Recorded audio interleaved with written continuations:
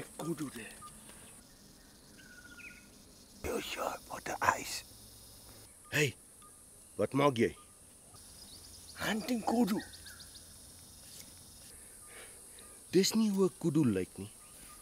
No man. As jy ernstig is om 'n PH te wil wees, skryf jou in vir Willebee se TV-program. Dave Sutherland vat 10 ouens oor die hele Suid-Afrika en ons lei hulle behoorlik op. Dan kan jy hom sien hoe lyk 'n kudu. Toe. Boggeroffie so, jy jag my bokke weg.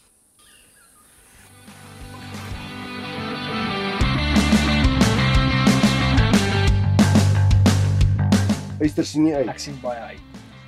Enige iemand kan inskryf. En dit is heeltemal verniet. Al wat jy hoef te doen om deel te raak van die trop, is jy skryf in.